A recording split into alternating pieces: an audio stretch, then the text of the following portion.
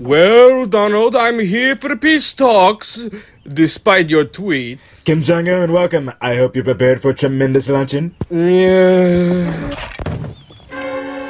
Oh, Chad, my steaks are ruined.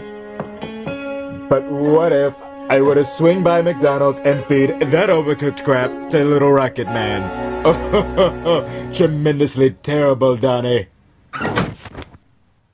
I.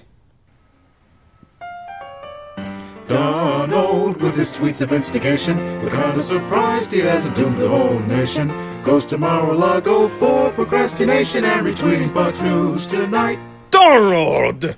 Kim Jong Un, I was just uh, stretching after golf. You know, my doctor says I'm very healthy and a very stable genius at that. There's more smoke in here than the minister I torched. Uh, uh, wrong. That's not smoke. It's steam. Steam from the bonbons we're having. Mmm, bonbons. well, Kimberly, I hope you're ready for the best hamburgers ever. I thought you said we were having bonbons. Fake news. I said steamed dons. That's what everyone calls hamburgers. You call hamburgers steamed dons? Yes, but mostly the blacks say it. Uh huh. Which black people? Uh, practically all of them. Really? Were I not Dennis Rodman, I've never heard him use the phrase steamed dons. Uh, the Wu Tang Gang said it. I see. Mm, I see.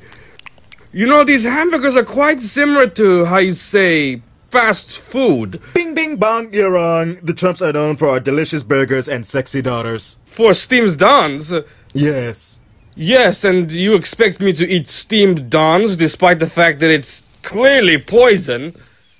Uh, well, Obama, uh, Crooked Hillary, uh, excuse me for a second.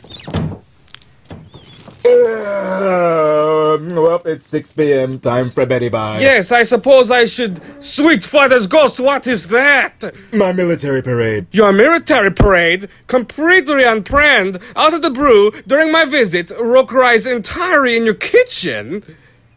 Yes. Can I see? Mm, no. Donald, your wigs are on fire! No, Melania, that's just my military parade. Well, Donald, you are a dotard. But I must say, you steam a good don.